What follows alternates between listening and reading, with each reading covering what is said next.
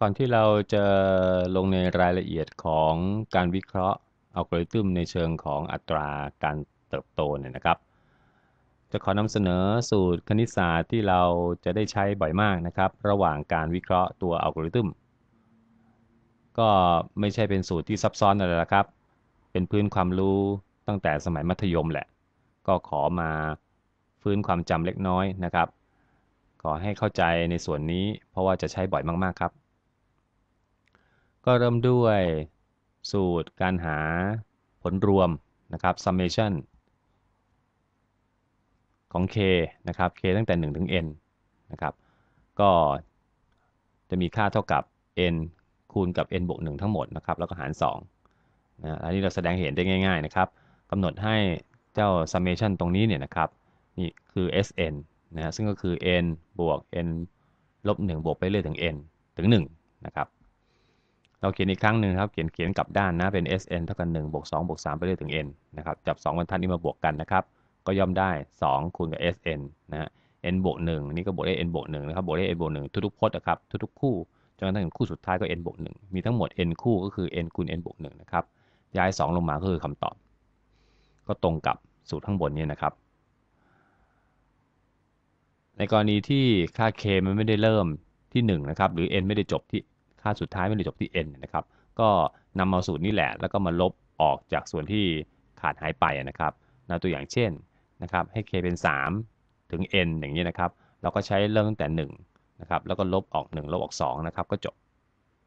อันนี้ก็จะใช้บ่อยครับ เพราะว่ามันเกี่ยวเรื่องของการนับจำนวนคำสั่ง ซึ่งความจริงเราก็พบสูตรนี้พบและใช้สูตรนี้มาแล้วนะครับ ตั้งแต่ตอนที่วิเคราะห์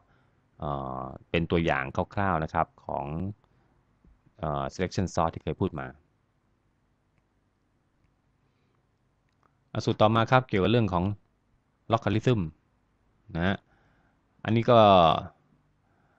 คงคุ้นเคยกันนะครับ คือล็อกของผลคูณนะก็จะเท่ากับผลบวกของล็อกนะครับล็อกของ a คูณ b ก็จะเท่ากับล็อก a บวกล็อก b ในขณะที่ล็อกของ a หาร b นะครับก็เท่ากับล็อกของ a ลบด้วยล็อกของ b นะครับล็อกของผลหารก็เท่ากับผลต่างของล็อกอาจากความรู้ตรงนี้เนี่ยนะครับ ก็ทำให้เรา นำมาสู่อันที่เป็น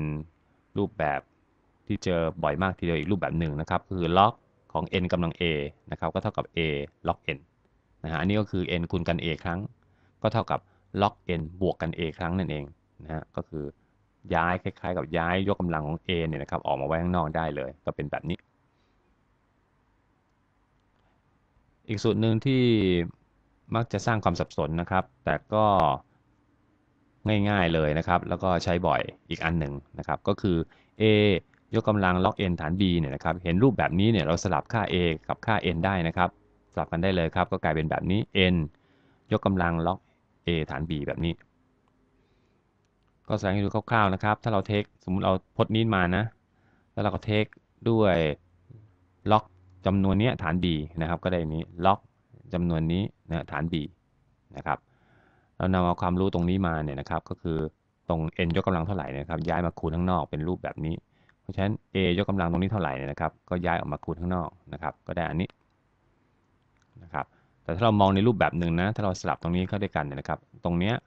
เราก็สามารถย้ายกลับขึ้นมาคูณเป็นยกกำลัง n ข้างบนนะเป็น n ยกกำลังด้วยจำนวนนี้นะครับ เพราะฉะนั้นก็จะพบว่า 2 ค่านี้เท่ากันนะครับ ถ้าเราล็อกออกนะ เห็นเฉพาะส่วนข้างในเนี่ยก็ย่อมเท่ากัน ก็เป็นที่มาของสูตรข้างบนนี่แหละครับ อันนี้เราจะเห็นอยู่บ่อยมากเลยนะอย่างเช่นกรณีสูตรแบบนี้นะครับ คือ 2 ยกกำลังล็อก n ฐาน2นะครับเห็นแบบนี้ปั๊บก็อย่าตกใจนะลองสลับดูนะครับ สลับดู พอสลับปั๊บกลายเป็นแบบนี้ปั๊บก็จะพบว่าข้างบนเนี่ยง่ายมากแล้วกลายเป็นล็อก 2 ฐาน 2 เท่ากัน1นะครับก็เป็น n เฉยๆนะอาจจะเริ่มจากอันที่เราดูแล้ว น่าสงสัยน่างงนะครับกับกลายเป็นเท่ากับ n เฉยๆซึ่งตีความได้ง่ายกว่ามาก ๆ เลย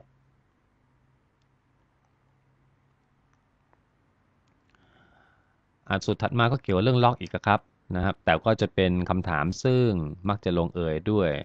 ฟังก์ชันล็อกกริทึมนะครับ ก็คือถามว่าจำนวนเต็ม n นะครับหารด้วย 2 ทุกครั้งที่หาร 2 นี่ปัดเศษทิ้งนะครับ สักกี่ครั้งอะจึงจะมีค่าเท่ากัน1 นะครับ อันนี้มักจะพบบ่อยในโดยเฉพาะอัลกอริทึมที่ใช้กลวิธีแบบที่เรียกว่าแบ่งแยกและเอาชนะนะครับ จะมีการลดทอนขนาดของปัญหาลง อาจจะทีละครึ่งทีละครึ่งทีละครึ่งเนี่ยนะครับ ก็ถามว่าลดทอนไปเรื่อยๆเนี่ยสักกี่ครั้งล่ะครับ ขนาดของปัญหาจึงจะเหลือแค่หนึ่งตัวอย่างเช่น สมมุติตอนแรก n เป็น 31 นะครับ หาร 2 ทีแรกก็เป็น 15ใช่ไหมครับ อันนี้ปัดเสร็จทิ้งนะ หาร2อีกครั้งนึงเป็น 7 อีกครั้งนึงเป็น 3 อีกครั้งเป็น1นะครับถ้าดูตามรูปนี้แล้วเนี่ยก็หาร 2 ทั้งหมด 4 ครั้ง แต่ถ้าเราเพิ่ม n เป็น 32นะครับก็จะพบว่าต้องหาร 1 ครั้ง 2 ครั้ง 3 ครั้ง 4 ครั้งแล้วก็ 5 ครั้ง อันนี้ความจริงเราก็สามารถที่จะตั้งสมการได้ง่ายๆนะครับว่า n หาร 2กำลัง k เท่ากับ1นะฮะก็คือหาร n หาร 2 ไป k ครั้งแล้วเท่ากับ 1นะครับ เพราะฉะนั้นก็หาค่า k ครับ ก็ย้ายขึ้นมาข้างบนนะก็เป็น 2กำลัง k เท่ากับ n เทคล็อกฐาน 2 ทั้ง 2 ข้างนะครับนะอันนี้ก็เป็น k ออกมาข้างนอกนะครับ อันนี้ก็จะกลายเป็น k เฉยๆ เท่ากับล็อก n ฐาน 2 นะครับ ในกรณีจำนวนครั้งเนี่ย ก็จะเป็นการปัดเศษทิ้ง เพราะฉะนั้นถ้ากลับไปตรวจสอบตรงนี้นะ ก็จะพบว่า 31 นะครับ 31 ล็อกล็อก31ฐาน2นะครับ ล็อก31ฐาน2เนี่ยก็คือ 4 จุดกว่าๆ นะครับปัดเศษทิ้งก็เป็น 4 ครั้งนะครับที่ล็อก 32 ฐาน 2 นะครับเพิ่น32 เท่ากับ 2กำลัง 5 ก็จะตรงกับ 5 พอดีเลย ก็เท่ากับ 5 ครั้งนะครับด้วยวิธีคิดแบบนี้เนี่ยหากเราเปลี่ยนโจทย์กลายเป็นว่าจำนวนเต็ม n หาร 3 ปัดเศษทิ้งกี่ครั้งล่ะ จึงมีค่าเท่ากับ 1 ถ้าไปลองคิดดูนะครับ ก็จะออกมาเป็นล็อก n ฐาน 3 ปัดเศษทิ้งครับ หรือจำนวนเต็ม n หาร 4 ปัดเศษทิ้งกี่ครั้งจึงมีค่าเท่ากับ 1 ตอนนี้คงพอจะเดาได้ใช่ไหมครับ มันก็คือล็อก n ฐาน4ปัดเศษทิ้งครับ เพราะฉะนั้นจำนวนเต็ม n นะฮะถ้าหารด้วยค่าคงตัวค่า 1 กี่ครั้งจึงเท่ากับ1มันจะออกมาในรูปของล็อกคาริทึมครับสูตรถัดมาเนี่ยอาจจะดูงงๆนะครับว่าจะไปปรากฏในการวิเคราะห์อัลกอริทึมได้อย่างไรเนี่ยนะครับ ก็จะพบบ่อยครับว่าในการวิเคราะห์ อัลกอริทึมเนี่ยนะครับเกิด summation ภายใน summation เนี่ยนะครับจะมีค่าอะไรบางอย่างเนี่ยที่มีการคูณคูณคูณไปเรื่อยๆนะครับแล้วก็บวกคูณแล้วบวกคูณแล้วบวกคูณกับตัวเองแล้วบวกไปเรื่อยๆนะครับก็จะอยู่ตกอยู่ในรูปแบบนี้ครับคือเป็น summation ของ x กำลัง k นะครับ k ตั้งแต่ 0 ถึง n ในกรณีนี้เนี่ยนะครับจะสามารถแปลงเป็นนิพจน์ที่สั้นๆ ง่ายๆ แบบนี้เลยนะครับ ก็คือ x ยกกำลัง n บวก1นะครับ ถ้าจบที่ n นะ ก็ จะเป็น x ยกกำลัง n บวก1ลบ1และหารด้วย x ลบ1นะครับส่วนนี้ต้องจำให้คล่องเลยนะครับ ว่า k มันเริ่มที่ 0 นะ แล้วจบที่ n ก็จะเป็นรูปแบบนี้ ตัวอย่างเช่นนะครับ ถ้าเราเจอผลบวกนะครับของ2กำลัง0บวก2กำลัง1บวกไปเรื่อยๆถึง2กำลัง n แบบนี้นะจะมีค่าเท่าไหร่ ก็จากสูตรนี้ก็คือ summation ของ 2กำลัง k k ตั้งแต่ 0 ถึง n เห็นไหมครับ k ตั้งแต่ k คือ 2 x คือ 2 นะครับ แล้ว k ตั้งแต่ 0 จนถึง n นะแทน x ทางฝั่งนี้เนี่ยนะครับ ด้วยค่า 2 นะ ก็จะได้ 2 ยกกำลัง n บวก 1 ลบ 1 หารด้วย 2 ลบ 1 เพราะ x เป็น 2 นะครับ 2 ลบ 1 คือ 1 ก็จะได้เท่านี้ นะครับ อันนี้ก็จะพบบ่อยในการวิเคราะห์อัลกอริทึม วิธีแสดงให้เห็นจริงนะครับ ว่าตรงนี้คืออะไรก็ ค่ย้าย x ลบ1เนี่ยมาคูณพจน์เนี่ยครับแล้วเดี๋ยวก็พบว่ามันจะเท่ากับ x กำลัง n บวก1นะครับลบ1อ่าเรายกขึ้นมาย้ายแล้วนะครับ เราก็คูณเข้าไปนะครับ คูณเข้าไปก็เป็น x คูณเทอมนี้แล้วก็ 1 คูณเทอมนี้แต่ลบเอานะครับ เอา x ลบคูณเข้าไปปั๊บเนี่ยก็จะเป็น x ยกกำลัง k บวก1นะครับเพราะเราคูณ x เข้าไปทุกๆพจน์ใน summation นี้อ่าพอเป็นอย่างนี้ปั๊บนะครับ เราก็จะเห็นว่าถ้าผมเปลี่ยนเปลี่ยนตัวแปรสักหน่อยหนึ่งนะครับ อันนี้ k k เป็น0นะมันเริ่มมันก็จะเป็น x กำลัง 1 k เป็น 2 ก็ x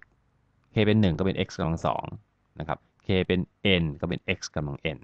นั่นก็หมายความว่าถ้าผมสามารถเปลี่ยนตัวแปรเป็น j ก็แล้วกัน j เป็น 1 จนถึง n บวก1แล้วเป็น x กำลัง j แทน